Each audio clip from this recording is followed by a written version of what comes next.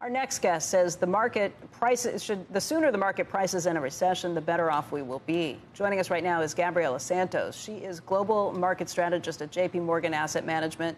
And this is a really interesting time, Gabriela. We have a lot of people who are concerned about a recession, a lot of worries about that. It seems like everybody's pricing in a recession. But you're somewhat positive, somewhat negative. Let's try and wade through this and, and, explain to people. We've come down a long way. Yeah. That is a good factor in itself. I think it depends on your time horizon. So when we do our yearly outlook for the next 10, 15 years, the starting point today is so much better than where we were 11 months ago, right? Rates are higher, valuations are back to at least equilibrium levels in the US. So you're talking about the best entry point for both bonds and stocks since 2010. So in 11 months, we've upgraded our annualized return expectations by nearly 300 basis points. That's amazing. just from the starting point. So you're talking about institutional clients, retail clients being much better able to meet their return needs. But when you're thinking more tactically, when you're thinking about the next 12 months, and thinking about the dials and overweighting risk, underweighting risk, there we think it's still the time to be underweight risk because we've talked a lot about recession, but we don't see that priced in. I think there's still a hope of a soft landing. And so we can have a rough start to the year.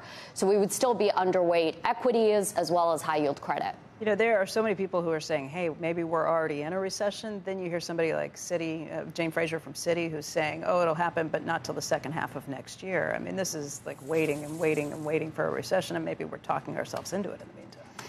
And I think it, this is, we can't agree on where we are at the moment, right? Are we slowing down? Are we picking up? Are we in recession? Are we not? Never mind about where we'll be 12 months from now.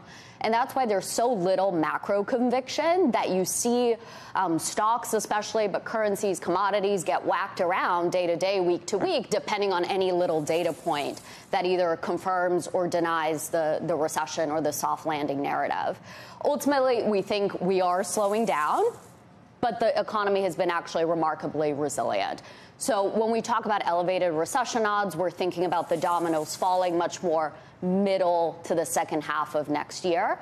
And then for the beginning of the year to be the process of actually pricing in those dominoes falling later on. So you see us going lower in the next several months especially in the beginning of the year. I think in January, February, it'll be a good opportunity to hear from companies what they saw in their fourth quarter earnings, to get a little bit more realistic about what's happening with demand, what's happening with cost pressures, to get analysts to actually revise down earnings expectations to something that's more reasonable. Even factoring in a mild recession would take you to earnings expectations below 220 for next year, which we're not there quite yet.